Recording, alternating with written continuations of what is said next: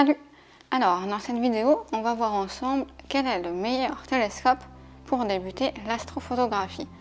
Alors, on l'a vu ensemble dans la dernière vidéo, le télescope va dépendre des objets que vous allez vouloir photographier. Il n'existe pas un télescope universel qui permet de faire tout type d'astrophoto, ou du moins, c'est pas l'idéal. Mieux vaut que vous sachiez ce que vous voulez photographier, pour ça, je vous remets la vidéo ici, les différents types d'astrophotos, qui vous donnera plus d'idées sur ce qu'il est possible de faire et euh, quel matériel correspond à quel type d'astrophoto. Dans cette vidéo, je vais donc parler que d'un seul type d'astrophoto, c'est l'astrophotographie du ciel profond avec un télescope et euh, une caméra, que ce soit réflexe, caméra dédiée ou euh, voilà. Allez, c'est parti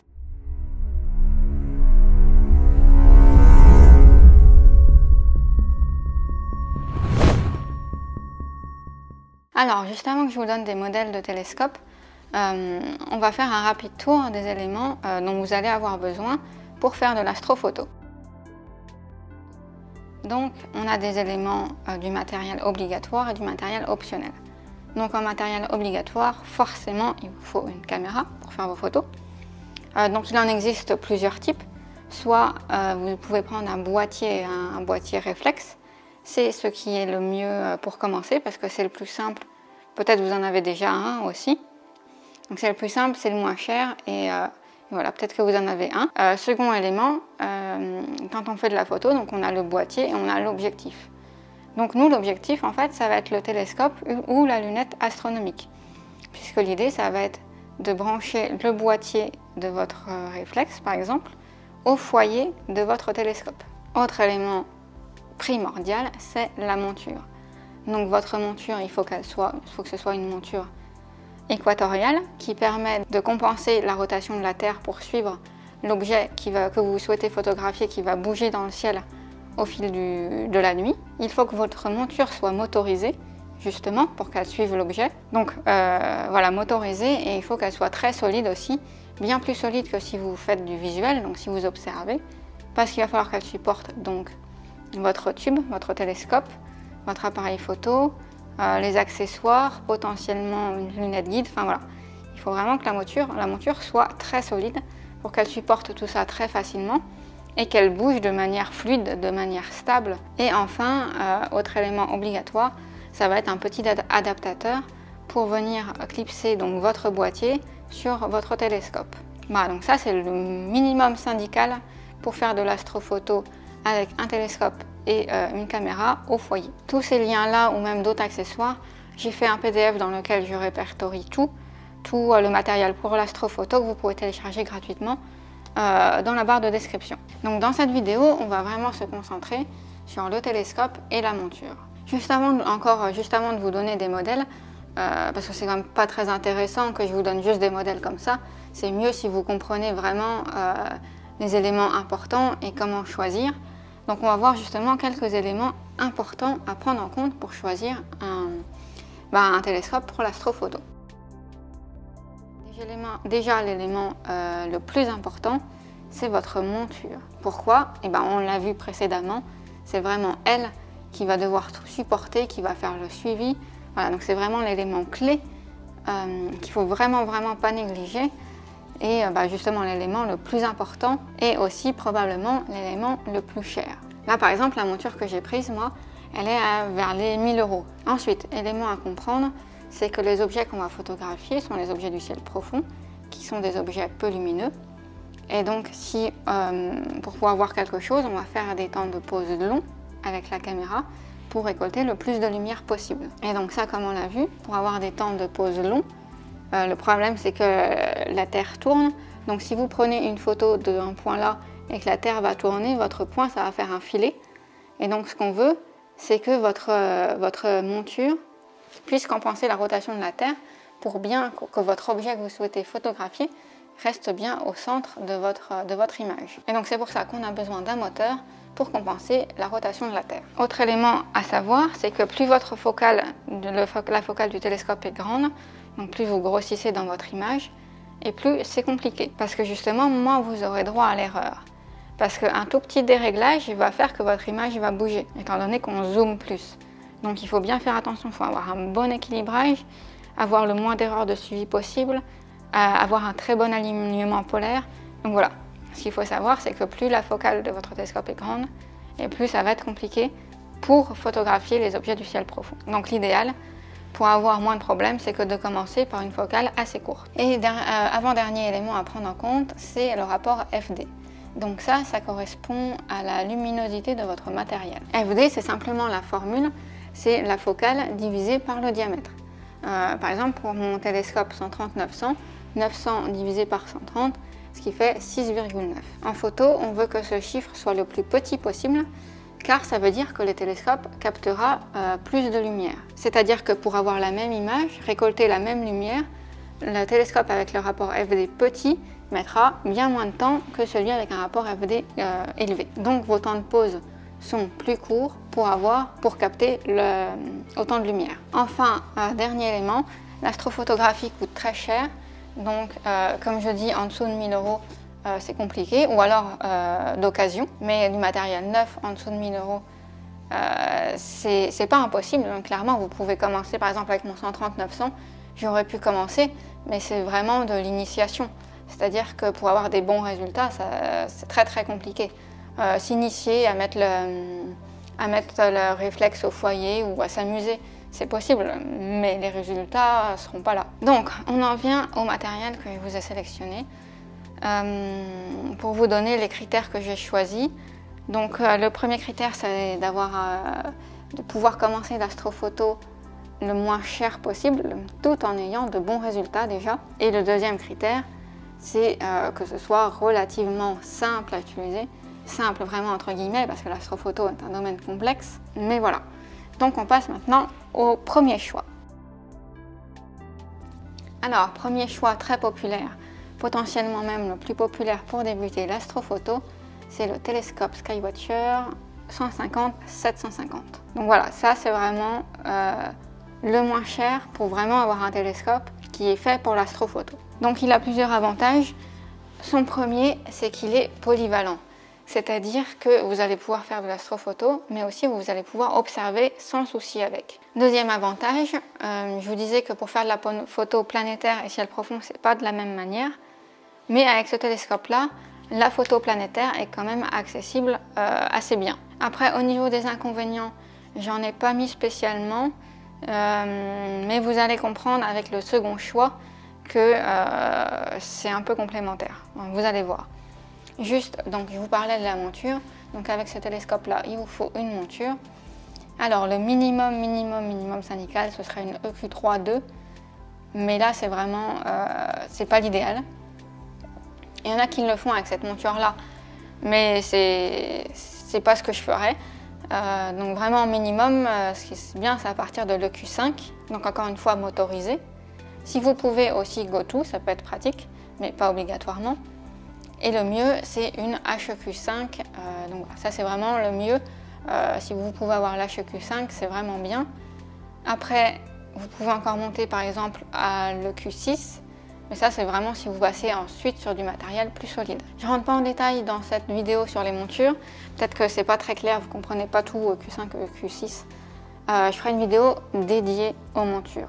Si ça vous intéresse, abonnez-vous pour ne pas la manquer. Donc ça, c'est vraiment le choix que beaucoup de personnes euh, font pour débuter et qui est un bon choix. Vous pouvez déjà bien vous amuser, faire de belles photos avec ce matériel-là. Je vous mets le lien de, de ce modèle-ci dans la description. Et donc on passe maintenant au second choix. Le second choix, c'est une lunette, cette fois pas un télescope, mais une lunette astronomique, Skywatcher 80ED. Alors, c'est une lunette apochromatique et donc, il y a plusieurs avantages, mais aussi des inconvénients par rapport au premier choix. On va donc commencer par ses avantages. Son premier avantage, c'est qu'elle fait de très belles images. Euh, les lunettes Apo, c'est vraiment un très bon choix pour faire de l'astrophoto. Elles ont un bon piqué et donc euh, peuvent faire de très belles photos. Deuxième avantage, elle est peu encombrante. Elle est bien moins encombrante que le tube euh, Newton 150-750. Ensuite, c'est plus simple à utiliser. Avec une lunette, il n'y a pas de collimation à faire. Donc voilà, c'est plus simple. Ensuite, le tube est fermé, contrairement au Newton, ce qui fait qu'elle est moins sensible à la turbulence. Elle est aussi, euh, la température est aussi plus rapide à faire. La mise en température est bien plus rapide qu'avec un Newton. Donc vous pouvez commencer à utiliser les jumelles, euh, pardon, la lunette une fois sortie dehors plus rapidement qu'avec le Newton. Évidemment, elle a aussi des avantages. Et là, vous allez comprendre euh, ces inconvénients donc, qui sont en rapport donc, avec l'autre, puisque c'est un peu... ces inconvénients sont les avantages du 150-750 et ses avantages sont un peu les inconvénients euh, de l'autre. Donc son principal inconvénient, c'est qu'elle est quand même moins faite pour observer. On peut théoriquement observer avec. J'ai pas encore pu le faire parce qu'il fait un temps pourri. Oui, d'ailleurs, en fait, euh, petit aparté, euh, je l'ai reçue.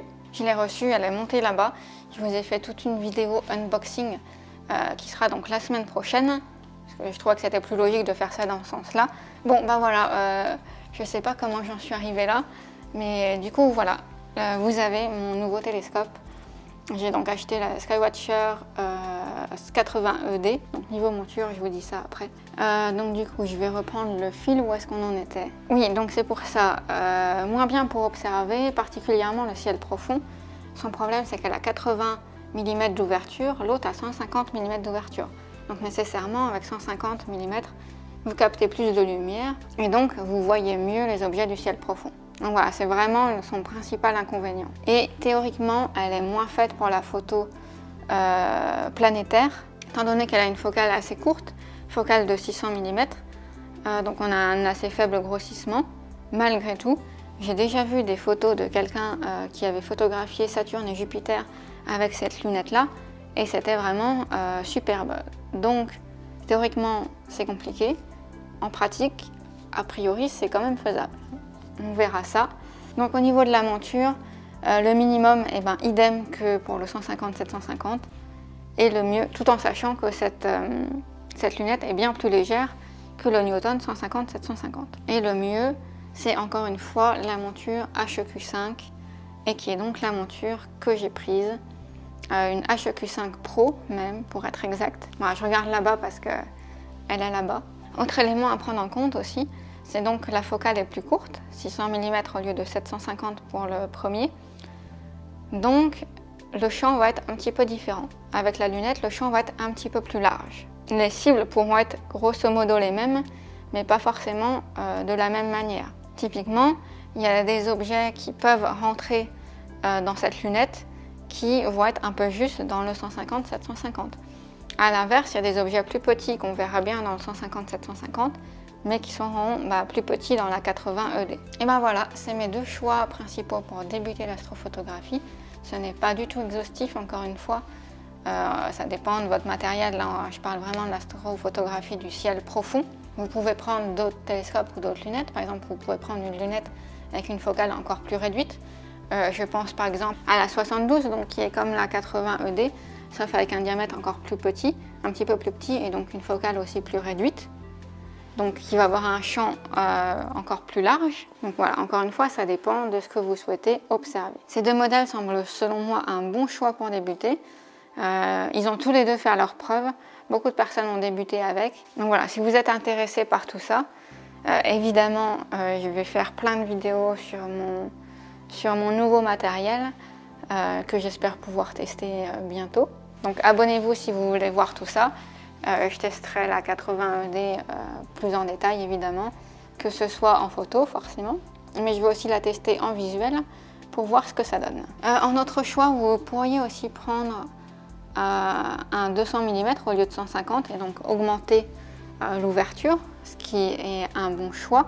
Sauf que là, il faut bien penser que le tube va être beaucoup plus gros et il va vraiment vous falloir une monture colossale, quoi. typiquement une EQ6. Alors évidemment, l'avantage d'un gros tube comme ça, de 200 mm, c'est que c'est très polyvalent, puisqu'en photo, ça va être génial, si vous avez la monture qui va avec, et vous pourrez aussi l'utiliser en observation, par exemple en la mettant sur une monture Dobson. Autre chose aussi, quand vous achetez une monture, pensez à l'évolution de votre matériel.